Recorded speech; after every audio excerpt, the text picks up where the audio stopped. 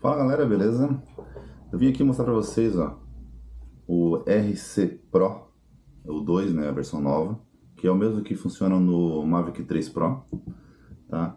Para você fazer live com o Avata 2 e o óculos RC3, é, Goggles 3, tá? Você vai precisar de um cabo USB-C, USB-C, USB-C para ligar o óculos no controle.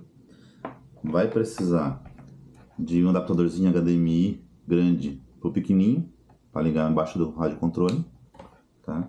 E algumas configuraçõezinhas no, no RC aqui, tá? Eu vou ver se eu consigo gravar a tela para deixar os dados na tela para vocês ali. Então vamos ver. Enquanto se eu não conseguir, vai, ficar, vai aparecer assim mesmo. Então assim, vocês vão vir aqui no, na tela principal do controle, tá? Vai subir aqui, vai vir aqui em configurações. Aí vai aqui embaixo, vai ter a opção é, dispositivos é, RC Pro, vai lá para baixo. Aqui no número de versão você vai clicar várias vezes em cima, tá? Várias vezes. Até aparecer assim, ó.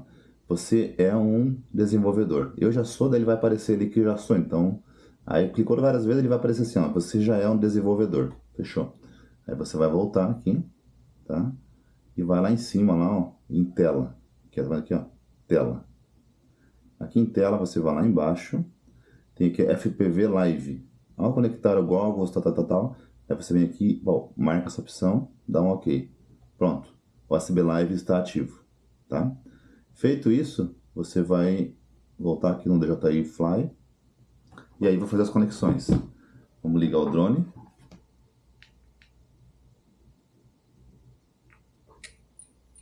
Ligado o drone. Vou ligar o óculos ligando o óculos.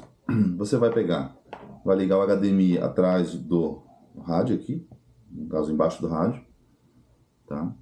Ele já vai, é, vai, tá pronto, ó, já vai aparecer na tela lá. Se for ver na tela, já apareceu lá o DJI Fly, tá? Agora eu vou ligar o USB-C no controle e vou ligar o USB-C no óculos tá? Automaticamente ele já mudou lá para Avata, na tela, pode ver, mudou para Avata. Aí eu venho aqui em guia de conexão, ele já vai aparecer a tela do Avata, tá? Ó, tô voando aqui, ó, ó está aparecendo? Ah, mas a minha tela tá aparecendo o OSD. No meu caso, desativei, tá? Ah, mas eu quero ativar o OSD para aparecer o OSD na tela. Aí eu venho aqui no óculos, tá? Configurações, câmera.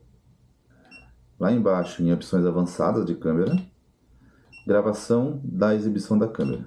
Ó, já apareceu lá, tá vendo? Ó, já apareceu o SD lá.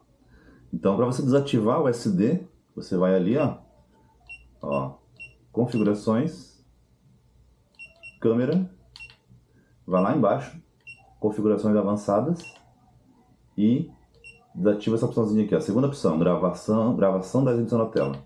Feito isso, ele já some o SD. Tá? Então, cara, isso aqui resolve um problemão, tá? Tanto é, dá para fazer isso pelo aplicativo também, né, nativo no celular ali do JI Fly. Você pode usar o celular para fazer isso.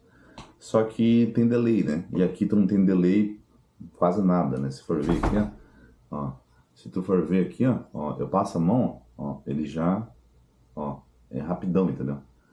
É muito rápido. Feito, galera. Então é isso aí.